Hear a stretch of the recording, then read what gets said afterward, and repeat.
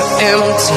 The only thing I can see is my own. Araw mga idol, ha, ang posibleng ah, laban ni Naoya Inoue, the monster ng Japan at ah, ang ating Cuadro Alas Casimero, General Casimero mga idol, ang angas ng Pinas na kung saan ay itong si ah, monster ng Japan ay aakyat ito sa Super Bantamweight Division.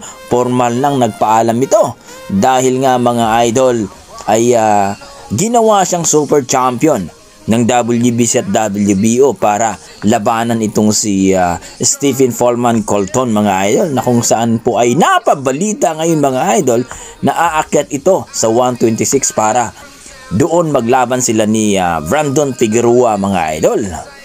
Kaya ito mga idol magkakaroon po ng parang interim, ika nga isang laban itong si Naoya Inoue para magang ah, sasabak uli sa champion.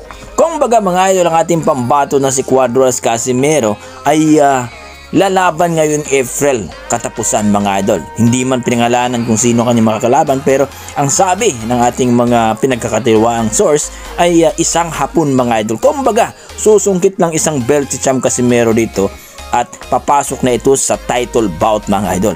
Kaya posible na mangyari itong ah, laban ni Nauya Inoue na monster ng Japan at ang ating angas ng Pinas, General Casimero mga idol. Kayo mga idol, anong masasabi nyo sa bidyong ito? Posible ba talaga na maglaban ang dalawa sa Super Bantamweight Division o 122 pounds? Ngayon mga idol, kung mangyari yan ay kaabang-abang. Napakagandang laban ito sa kaysaysayan dahil ang monster ng Japan versus the destroyer o monster din ng Pilipinas. I-komento nyo na mga idol sa baba para ating pag-usapan. Maraming salamat.